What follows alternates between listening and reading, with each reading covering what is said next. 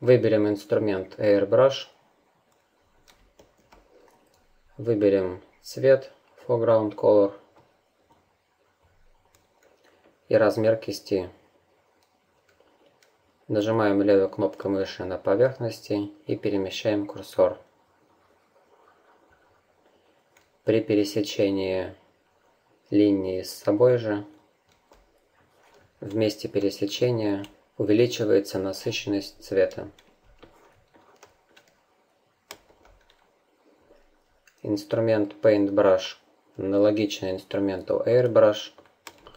Различие лишь в том, что при рисовании насыщенность э, сразу максимальная. При пересечении она не увеличивается. Все настройки инструментов Airbrush и Paintbrush идентичны друг другу. Параметр Blend Mode позволяет выбирать режим смешивания. Normal – это нормальное, обычное рисование. Erase позволяет стирать то, что было нарисовано.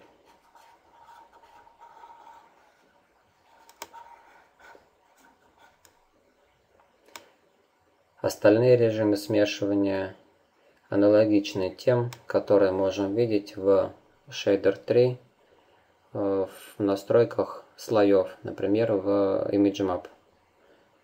Здесь Blend Mode, все те же самые режимы. Параметр Paint Mode позволяет выбирать режим рисования по проекции кисти и по UV развертке. Режим Normal Projection рисует э, проекции кисти на поверхность. Выбираем размер, нажимаем левую кнопку мыши. С данного угла обзора, с этой проекции, нарисованное соответствует размеру кисти. Если развернуть поверхность во вьюпорте, то видим, что это далеко не круг. Также можно видеть на текстуре то, что было нарисовано. Режим Fast UV независимо от угла обзора во вьюпорте нарисует точности э, то, что задано кистью.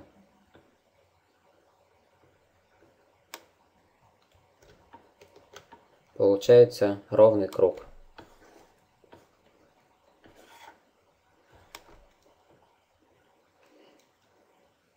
Параметр useFollow позволяет добавлять к кисти, к инструментам Airbrush, Paintbrush действия фоллофов. Выберем Noise. Параметр useFollow включен. Нажимаем левой кнопкой мыши на поверхности.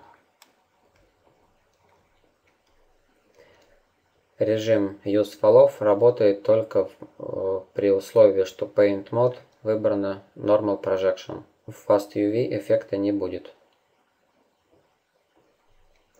Параметр Opacity – это непрозрачность цвета. При стопроцентном значении цвет рисуется с максимальной непрозрачностью, максимальная насыщенность.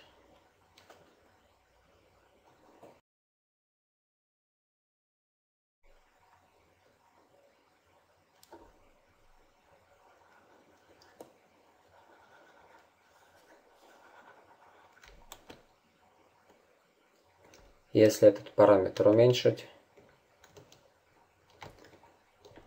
то рисоваться будет прозрачный цвет. Density – это плотность.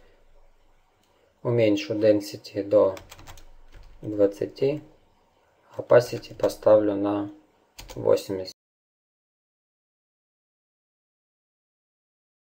При рисовании за один проход кисти рисуется только 20% ее плотности. При пересечении линий плотность э, в данном участке возрастает. Таким образом можно наращивать, увеличивать плотность в некоторых участках.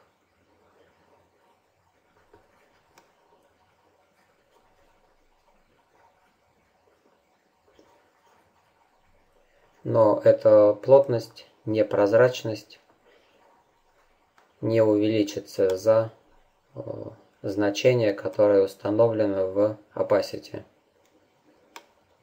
То есть получается за один проход рисуется 20%, при пересечении значение увеличивается, но оно не выйдет за предел, установленный в параметре opacity. Если здесь поставить 100% и здесь верну на 100%, то, то можно видеть. Нарисую рядом 100%. Вот отличие. Здесь 80, здесь 100.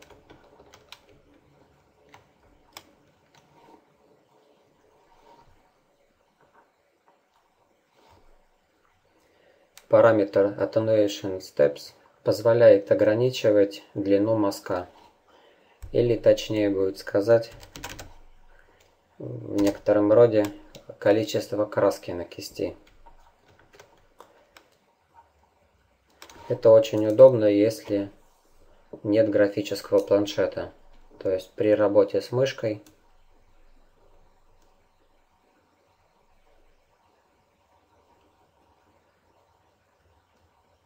можно симулировать действие э, пера, то есть силы нажатия. Нажму Ctrl-Z для отмены, поставлю значение поменьше.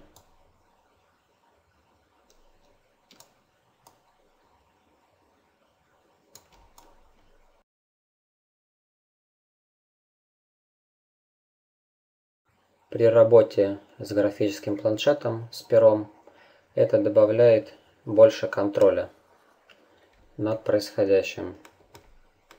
Длина мазка в данном случае зависела от скорости движения.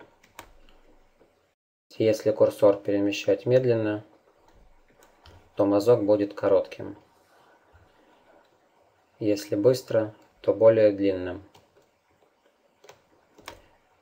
Таким образом, параметр Attenuation Steps задает количество э, смещений кисти.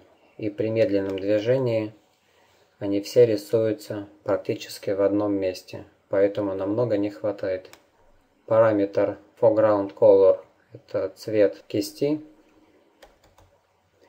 Параметр альфа – это прозрачность цвета, позволяет задавать значения для рисования в альфа-канале э, выбранной текстуры. Параметр value – это яркость. Если выбирать цвет, то вот здесь параметр value – это и есть тот самый value, который можем выбирать здесь. Только здесь мы его изменяем в процентном соотношении от того, что выбрано здесь. Получается, что выбранный цвет мы можем менять на ходу, изменяя его в процентах.